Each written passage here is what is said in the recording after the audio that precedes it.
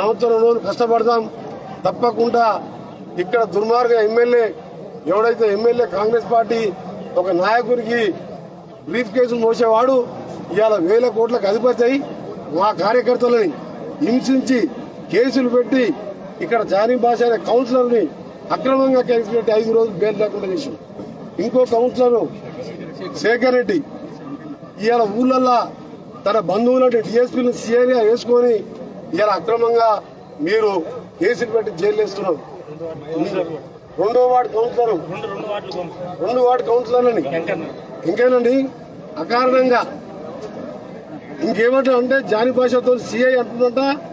నువ్వు ఎమ్మెల్యేతోనో MLA కొడుకుతోనో phone చేయించుకో. నీ మీద నేను వదిలిపెడతావు నాన్ బెలివని సిగ్గుడాలి అరే ఎమ్మెల్యే.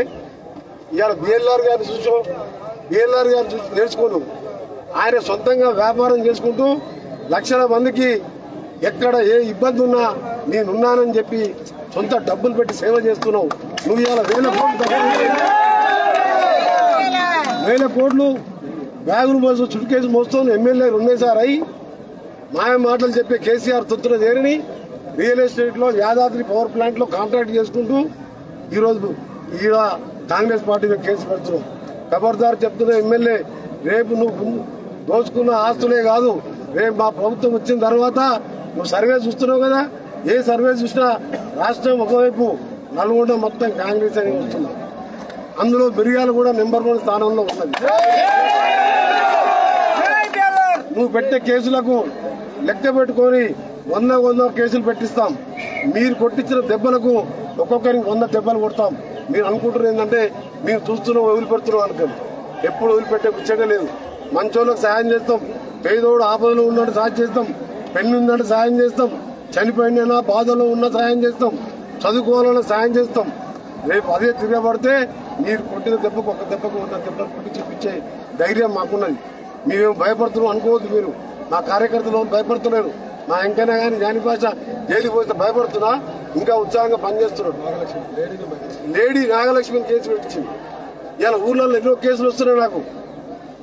మిర్యాలు కూడా కాన్స్టిట్యూన్సీలు అయినా కానీ ఇవాళ కాంగ్రెస్ పార్టీ గట్టిగా ఇంత నిలబడి పోటా పోటీగా ఈరోజు కౌన్సిలర్లు కూడా గెలిపించుకోవడం జరిగింది. ఆ గవర్నమెంట్ ఉంది కాబట్టి ఆ మాత్రం గెలిచిండు. లేకపోతే కాంగ్రెస్ పార్టీ గెలిచింది. ఆ రోజు బిఎల్ఆర్ గారు నేను ఉత్తమ్ కుమార్ రెడ్డి గారు జానారెడ్డి గారు మీరు కాంగ్రెస్ పార్టీ ప్రజాసేవతోడు ఒక దేశానికి స్వతంత్రం తెచ్చిన పార్టీ తెలంగాణ ఇచ్చిన పార్టీలో మీరు వచ్చి సేవ చేయండి ఇంకా ఎక్కువ చేయండి అని నీవు ఆహ్వానించినప్పుడు నా ఆహ్వానం మేరకు వారు రావడం జరిగింది. వచ్చి ఫైట్ చేస్తే నా దాదాపు అధికారంలోకి వచ్చిన వారు కోఆప్షన్ పెట్టుకున్నారు. అధికార పార్టీ కాబట్టి గెలిచిన కౌన్సిల్. ఆ రోజు మా కోరికని మన్నించి కాంగ్రెస్ పార్టీలోకి వచ్చి ఇవాళ సొంతంగా కూడా బిఎల్ఆర్ ట్రస్ట్ మీద ఎప్పుడు వాట్సాప్ చూసినా బిఎల్ఆర్ అనిపిస్తాడు లేకపోతే మా బీర్లు అయిలా కనిపిస్తాడు. ఇక్కడ వచ్చి మా బీర్లు అయిలా కరోనా ఉన్నా కోవిడ్ ఉన్నా. బిఎల్ఆర్ గారిని నేను ఎమ్మెల్యే ఉన్నప్పుడు నేను మినిస్టర్ ఉన్నప్పటికెళ్ళి చూస్తున్నా. అయిలాగా రాజకీయాలే. ఆయన రాజకీయాలకు రాలే. ఏ పార్టీలకు రాలే.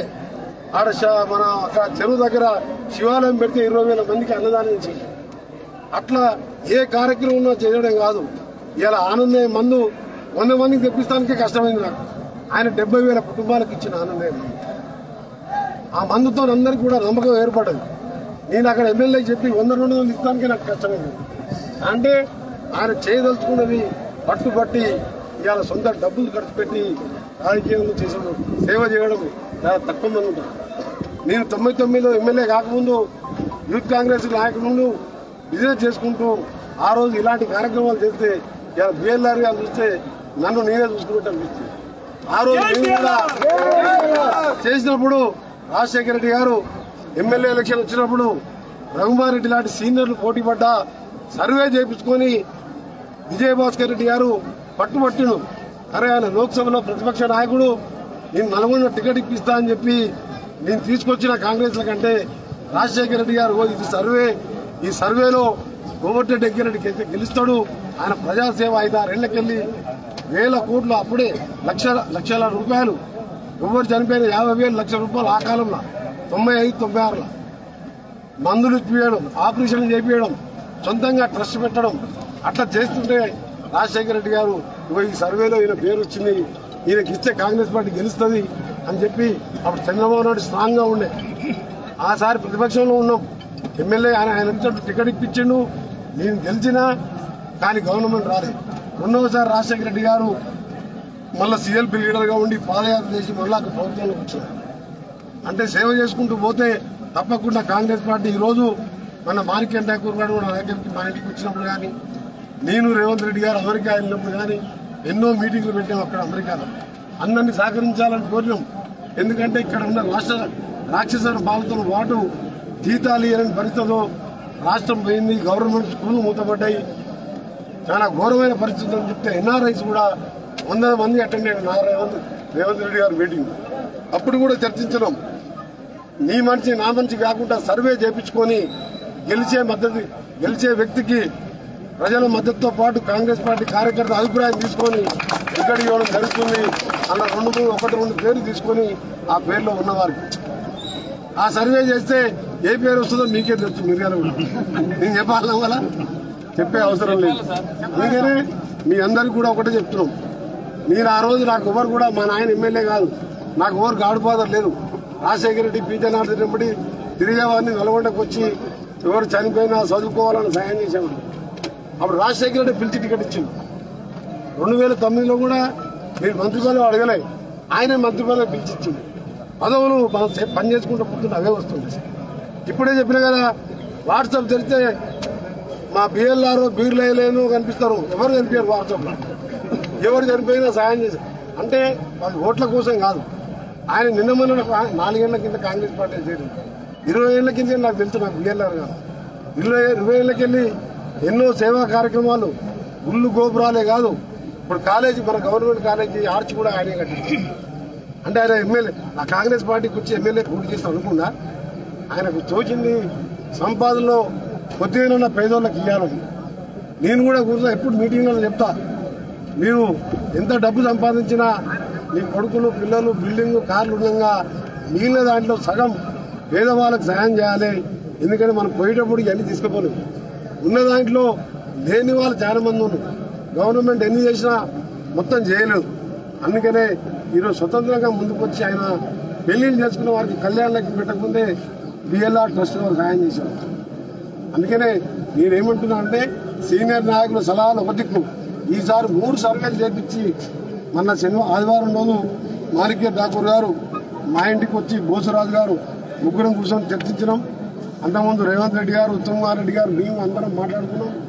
జ్ఞానారెడ్డి మాట్లాడిండు మీ టికెట్ ఏం అవసరం? మీకు అవి- మీకు ఎవరికి అనుమానం లేదు. మీరు ఎప్పుడైనా సీఎం మీరు ఆడికెళ్ళి స్లోగన్లు సీఎం సీఎం సీఎం సీఎం అంటుంటే మీకు ఇక్కడ నచ్చిన నాయకులు ఎమ్మెల్యే గెలిపించుకొని రండి. ఆటోమేటిక్ అరవై మంది ఎమ్మెల్యేలు ఇస్తే సీఎం నేను ఎవరో కాంగ్రెస్ సీఎం ఉంటుంది నాకేం తొందర లేదు ఎందుకంటే మంత్రి పదవి వదిలిపెట్టినాం ఎమ్మెల్యే అభిప్రాయం తీసుకొని సోనియా గాంధీ గారు నిర్ణయిస్తారు. కానీ ఫస్ట్ ఎమ్మెల్యేలు అరవై అయితేనే కదా సీఎం అయ్యేది. అరవై గెలవాలని మిర్యాలు కూడా గెలవాలి కదా. మిర్యాలు కూడా ఖచ్చితంగా ఎందుకు గెలవాలంటే ఇక ఒక రాక్షస ఎమ్మెల్యే ఉన్నాడు. ఎమ్మెల్యే ఆయన కొడుకు ఇద్దరు ముగ్గురు ఎమ్మెల్యేలు ఉన్నారు ఇంట్లో. ఇప్పుడు కేసీఆర్ ఇంకా ఆరుగురు ఎట్లుండో ఈయనకు ఇద్దరు ముగ్గురు ఉన్నారు. కొడుకో ఎమ్మెల్యే తండ్రో ఎమ్మెల్యే. తండ్రి ఏమో హైదరాబాద్ రియల్ ఎస్టేట్ కొడుకేమో ఇక్కడ బెదిరించాడు. కేసులు పెట్టించాడు. పోలీసు వాళ్ళని తీసుకొచ్చి ఆ బంధువులు నేర్పించుకున్నాడు ఇవన్నీ బంద్ కావాలి.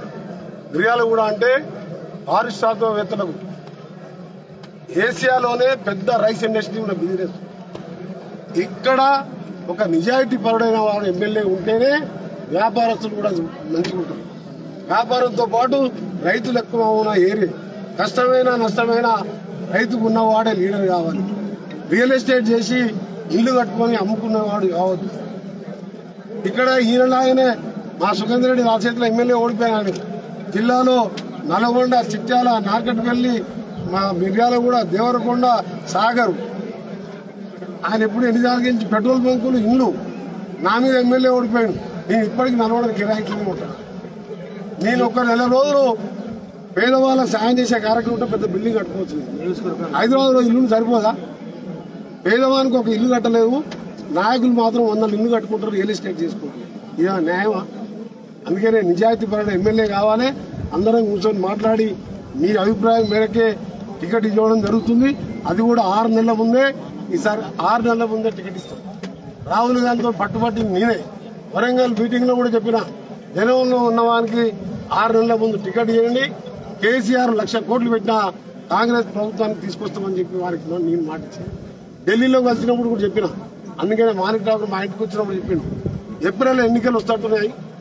అన్నా ఈసారి డిసెంబర్లోనే అనౌన్స్ చేస్తున్నామని చెప్పి చెప్పిండు అందుకనే మీరు ఒక ఆరు నెలలు ఎనిమిది నెలలు కష్టాలున్నా నష్టాలున్నా డిఎల్ఆర్ గారి నాయకత్వంలో కష్టపడి పనిచేయండి. తప్పకుండా మన ప్రభుత్వం వస్తుంది. వారికి మేము అండగా ఉంటాం.